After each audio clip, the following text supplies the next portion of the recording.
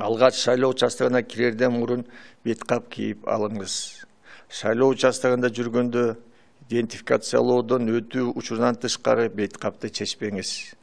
Айлана чөйрөдөгү объектилер менен контактта болгондон кийин эшиктин туткалары столдор жана башка нерселер антисептикалык каражат менен колуңузду тазалаңыз. Мекеменин ичинде жана сыртында кеминде бир жарым метр аралыкты сактаңыз. Өзүңүз менен балдарды алып шайлоого келбеңиз. Эгер сизде курч респиратордук вирустук инфекциянын жана грипптин анын ичинде ковид он тогуздун белгилери бар болсо бирок он биринчи апрелде добуш берүүнү кааласаңыз шайлоого саат он сегизден өткөндөн кийин катышуу сунушталат